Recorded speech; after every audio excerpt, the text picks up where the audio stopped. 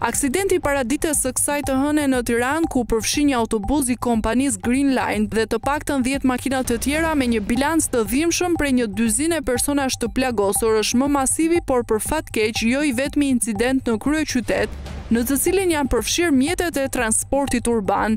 Ndërkohë në vitet e fundit ka pasur edhe aksidente të tjera, disa me pasoja tragjike e disa për arsye të çuditshme.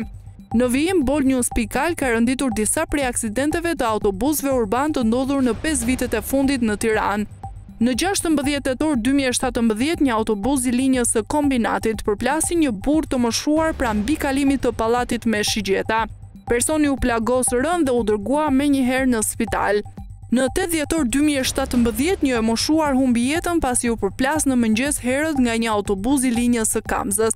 Aksidenti ndodhi pranë urës së Institutit.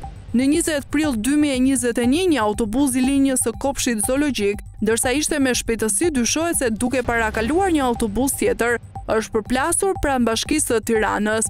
Viti dy mijë e njëzet e dy ka rezultuar me pesë aksidente, ku një autobuz i linjës së Unazës në Tiranë është përplasur me një makinë.